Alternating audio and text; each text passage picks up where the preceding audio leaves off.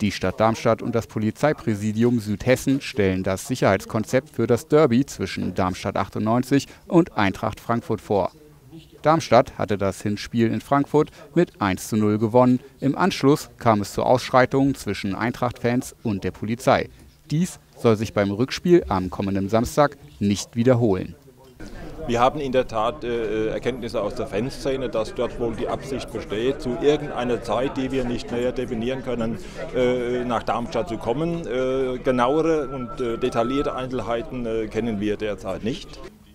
Eintracht Frankfurt muss als Konsequenz aus den Ausschreitungen nach dem Hinspiel auf die Unterstützung der Fans verzichten. Der Gäste-Fanblock wird leer bleiben. Da die Eintracht konkret abstiegsgefährdet ist, sorgt dieser Umstand für zusätzlichen Zündstoff.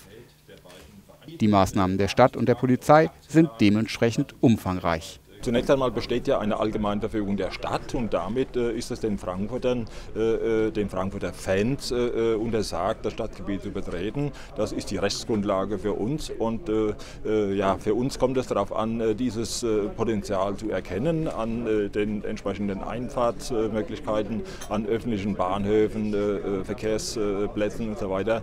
Und wenn wir solche Menschen antreffen, werden wir dann vor Ort entscheiden müssen, welche Maßnahmen wir diesbezüglich treffen. Fans von Eintracht Frankfurt wird geraten, gar nicht erst nach Darmstadt anzureisen es ist einfach schade, dass die Frankfurter Fußballfans jetzt nach Darmstadt nicht kommen können in der Richtung. Aber da müssen wir uns dran halten.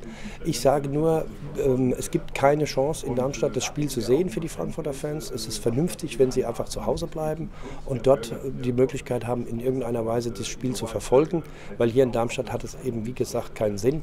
Und für die Zukunft ist es halt, es wäre einfach wunderschön, wenn Fußball im Vordergrund steht.